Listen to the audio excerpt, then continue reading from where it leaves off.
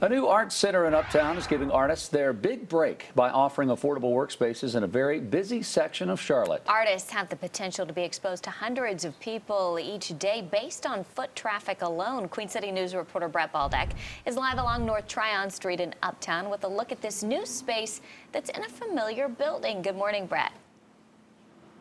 Hey, good morning, and Wyatt and Jason. So first, let's explain where we are. We are in Uptown, right off of North Tryon Street, right across the street from the Charlotte Ballet. And this building that you see behind me has been here for a very long time. It was first a Sears department store way back in the day, and then more recently, it was the Hal Marshall Center that was owned by Mecklenburg County. But in March of last year, it opened as the Visual and Performing Arts Center, and it's giving artists not only a place to show off their work, but also an affordable workspace.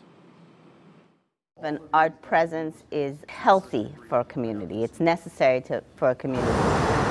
In the Queen City, you'll find art on nearly every street corner, but things weren't always this way. When I came to Charlotte, I saw so much talent and not the representation that should be for the local artist.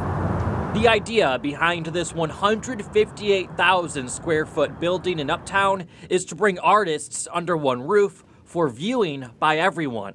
The public has accessibility to the artists. It's an open door. You'll not only find a gallery space here, but affordable working space.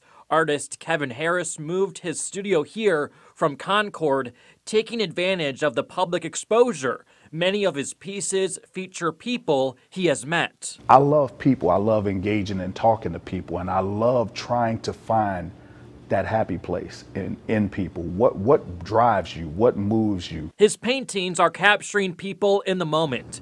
An exhibit consisting of his work from a two-decade career will open soon.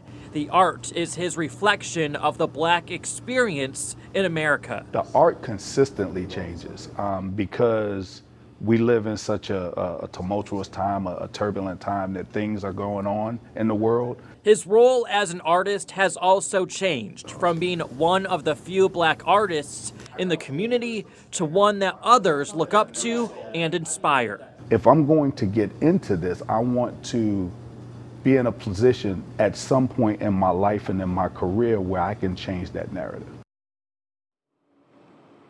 So if you want to check out the exhibit with all of his artwork, including some of the ones that you saw in that story, it opens this weekend right here at the Visual and Performing Arts Center.